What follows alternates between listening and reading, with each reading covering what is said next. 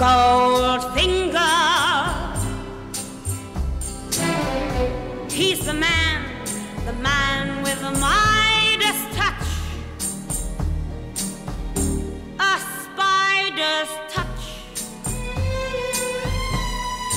Such a cold finger.